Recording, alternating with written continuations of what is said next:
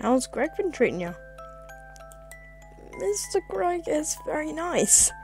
I'm technically not allowed to talk to him about gem stuff, but he always talks to me when he comes over. hey, I'm trying to store through some stuff in my garage. You don't mind if I leave a few boxes here, do you? I have a lot more of these than I remember. I guess that's what happens when you get old. so much stuff and so little places to put it. I would hate to get rid of it though. Oh, this one's a classic. Hey, Steven, you wanna have a look? Maybe you'll find some you like. You can listen to it if you want. I have a record player around here.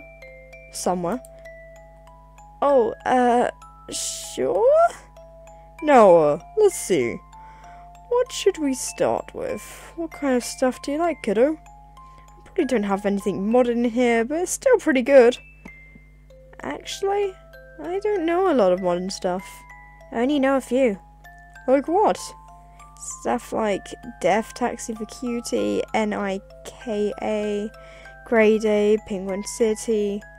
Oh, and I've recently listened to a lot of songs by Mr. Universe. Uh. Psh. that guy? Huh? He hasn't been relevant in years. I have no idea how you even know about him. oh, uh, sorry if that's weird. I don't know much about music. What? No, no, no, it's fine. I was just joking. Oh, jeez, I must like sound like one of those people who judges others for their taste in music. You can like whoever you want, Steven. This music you listen to is a great way to know yourself. Everyone's tastes are unique. Huh? Actually, if you like his music so much, I think I still have some Mr. Universe merch laying around. You can have it. Wow, seriously? Thank you so much. no problem, so I have to remember where I put it. It might still be in storage.